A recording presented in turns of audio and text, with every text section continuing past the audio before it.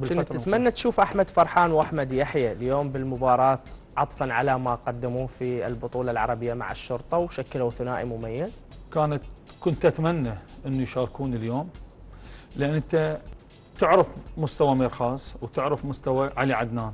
ممكن يعني علي عدنان بعد غياب ما عنده مشكلة ممكن تلعبه شوط ثاني بس ميرخاص أنت تعرف مستواه مستواه جيد لاعب ممتاز. الفترة السابقة أدى ثبت إنه هو يستحق إنه يكون متواجد مع المنتخب ال- الوطني. كنت أتمنى تعطي الوقت الكافي حتى يظهر مستوى أحمد يحيى الحقيقي. يعني ممكن يكون أفضل من ما قدم مع الشرطة خلال البطولة العربية أو بالدوري. نعم. حتى يثبت إنه هو يستحق إنه يكون متواجد مع المنتخب. أيضا أحمد فرحان من اللاعبين الممتعين الممتازين اللي أتمنى من الكادر التدريبي إنه يعطيه الفرصه الكاملة نفس ما تكلمنا عن أحمد يحيى أيضا أحمد فرحان.